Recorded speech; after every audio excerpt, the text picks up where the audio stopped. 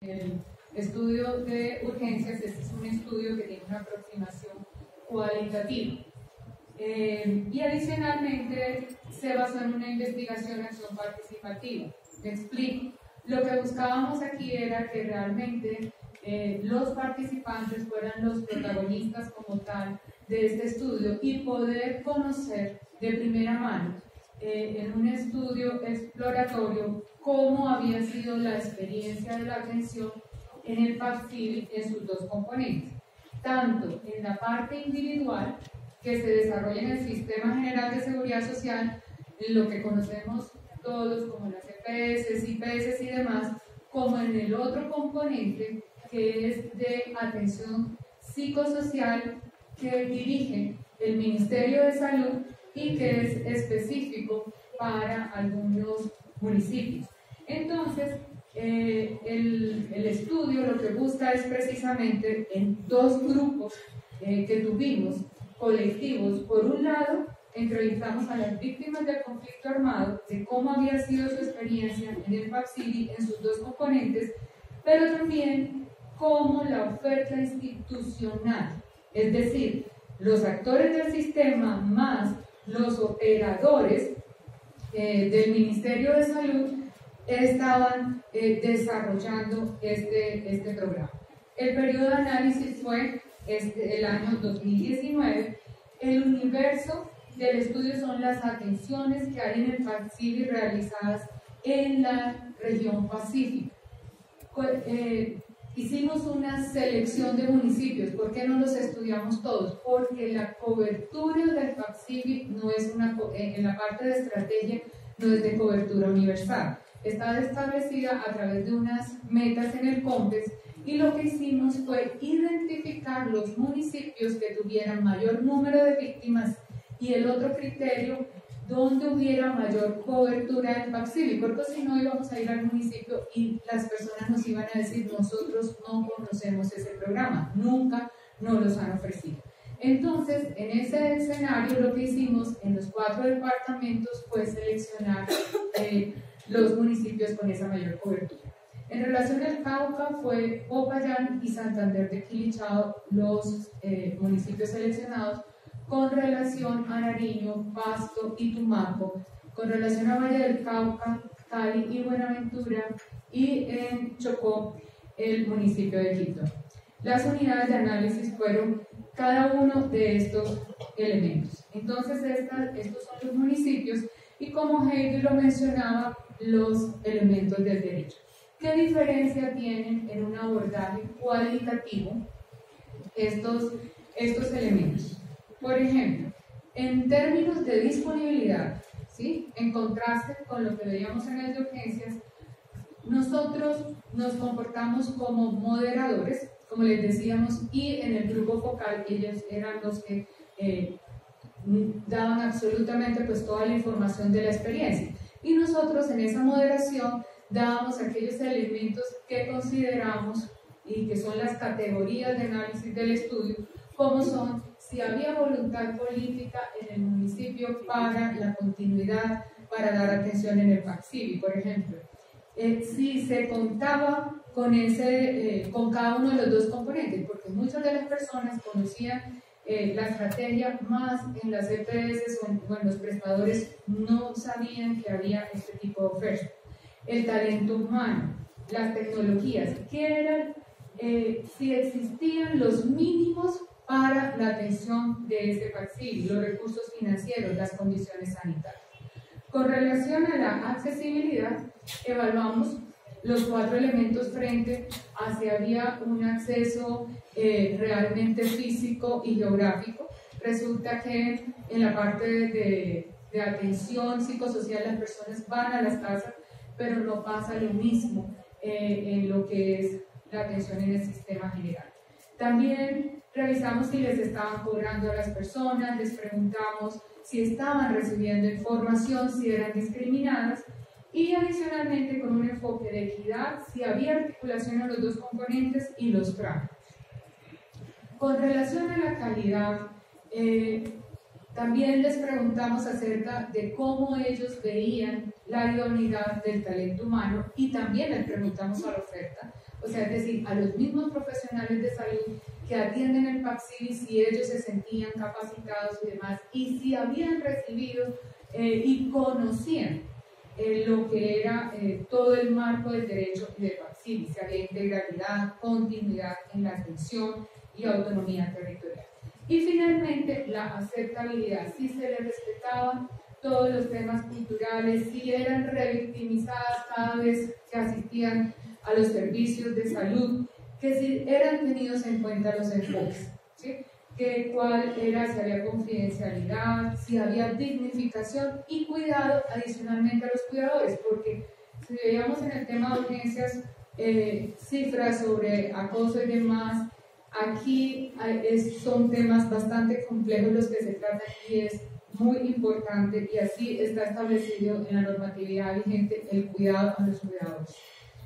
¿Cuáles fueron los instrumentos que utilizamos? Utilizamos cuatro instrumentos. Los talleres participativos de grupos focales en los dos grupos, dividimos en dos grupos poblacionales, uno las víctimas y por el otro lado la oferta institucional. También hicimos visitas de observación a los eh, hospitales donde se garantiza la atención de la población. Hicimos un taller de articulación de agentes en el municipio de Quito y finalmente aplicamos una encuesta a toda la oferta institucional para saber cuál era la capacidad que tenían de las necesidades que tenían de capacitación. Los resultados los vamos a ver a continuación.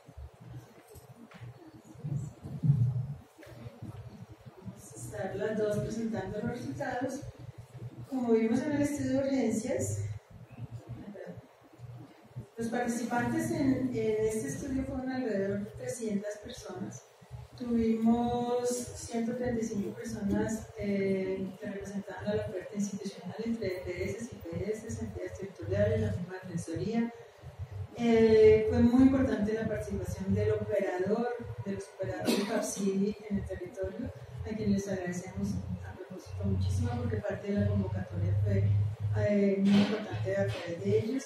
Y las personas víctimas fueron 163 personas, la mayoría de grupos étnicos afro-indígenas, y estuvieron con énfasis en la convocatoria en Chocó, fue mucho más grande y por eso en Quito se notaban muchos más participantes. De aquí en adelante vamos a estar mirando lo que opina la oferta institucional y lo que perciben las víctimas para poder mirar cómo realmente las dos miradas se deben complementar y las diferencias que existen. En esta gráfica ustedes pueden observar lo que la oferta institucional, o sea, todo el talento humano que sirve a las personas víctimas en las diferentes instituciones, piensa que es positivo y en naranja lo que debería ser mejorado. Vemos que es, te voy a comentar de todos al principio que es muy difícil, nos pasó con todos los talleres, que la gente piense en lo positivo. Normalmente siempre piensa en lo negativo, reconoce lo negativo, escribe lo negativo ver lo positivo es difícil. Pero con el taller y la metodología y las preguntas que se iban haciendo, las personas logran mirar que tenemos muchos aspectos positivos, pero también tenemos muchas oportunidades de mejora. Vemos aquí que la calidad y la accesibilidad para la oferta institucional son las, los dos elementos que requerirían mayor trabajo en la mejora. Bueno, pero con relación a las víctimas, Heidi, lo que observamos es que la mayor preocupación de las víctimas es la accesibilidad y la calidad. Es decir, si por un lado la oferta está viendo que hay problemas de calidad, eso no solamente lo está percibiendo el, usuario, sino que las víctimas están percibiendo que tienen problemas de acceso. Entonces, fíjense que aquí se complementa, hay un factor común, que es la calidad, pero eh, para las víctimas es preocupante todos los problemas que tienen de acceso eh, para poder acceder al vacío. Estos resultados los tenemos por cada uno de los municipios que visitamos y, trabajamos y aquí vemos un poco los, los resultados en agregado. En cuanto a las diferencias por departamento, cabe resaltar que la mayoría, pensando en el acceso que planteaba Mel, el vacío está concentrado en la zona urbana. Entonces, las personas de la zona rural tienen muchas más dificultades en el acceso y tienen mucho más demandas frente a las necesidades de ser incluidos en los programas. En esta, en esta gráfica observamos entonces por departamento, los tenemos aquí arriba, Valle, Cauca, Nariño y Cauca, Chocó, y tenemos los colores emblemáticos. Ustedes dirán siempre porque los mismos colores, el azul siempre la disponibilidad, el amarillo es accesibilidad, el verde calidad y el rojo aceptabilidad. En esta gráfica llama la atención frente a lo que piensa desde lo positivo de la oferta institucional, el Chocó, que realmente allá en el rojo, en la punta que vemos vemos que la aceptabilidad prácticamente no es una no es una preocupación para la oferta. Su preocupación más grande es aquí en Choco tenemos mucha disponibilidad, menos acceso, problemas de calidad y al final poca trabajo en aceptabilidad. Lo que debe mejorar para la oferta de, de prestadora de servicios finalmente está equitativamente mm, distribuida, pero con sesgos en algunos departamentos, frente al, Valle del Cauca, que tiene mejor disponibilidad, y el Cauca, que dice que no tiene tanta disponibilidad y debería mejorar en cuanto a la oferta de servicios. Pero la calidad viene siendo el problema más grande Ahí pensamos si desde el trabajo que se han ido haciendo en calidad, que mientras no se cambie el enfoque de calidad que se plantea en el mismo estudio de urgencias y se vea una calidad que sea planteamente diseñada para la verificación, por una, la calidad de la gestión de las entidades frente a lo que debe ser sus resultados en salud, pues la cosa es compleja. Bueno, en lo que tiene eh, que ver con las víctimas, definitivamente pues hay diferencias con relación, por ejemplo, en el Valle del Cauca consideran que tienen una mejor disponibilidad de los servicios, ¿sí? Con relación al PAPSIL. Eh, no así, por ejemplo, ya aquí se ve eh, de manera eh, equiparable lo que tiene que ver con acceso y calidad en los demás departamentos.